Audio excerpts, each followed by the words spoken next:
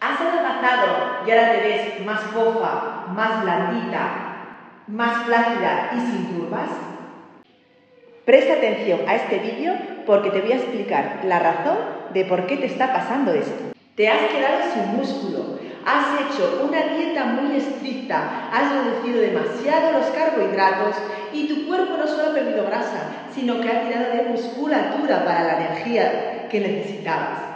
Te has quedado en lo que en términos anglosajones se llama skinny fat, un gordo flaco.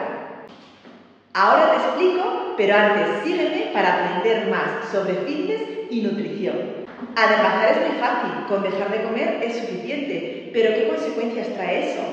Una pérdida de masa muscular, de energía, de nutrientes, de estado de ánimo.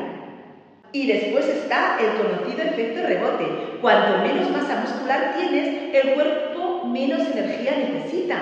Entonces, con poco, engordas. Por lo tanto, te recomiendo que si quieres adelgazar, lo primero que tienes que saber es cuántas calorías necesita tu metabolismo.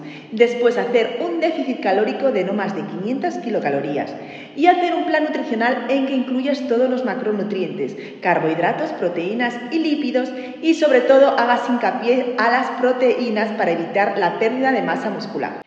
Y acompáñalo de un entrenamiento de fuerza. No necesita ser muy largo. Con 20-30 minutos al día es suficiente. Así estimulas las células musculares y evitas que se degrade el músculo. Y es que has adelgazado y te ves más fofa, blandita y sin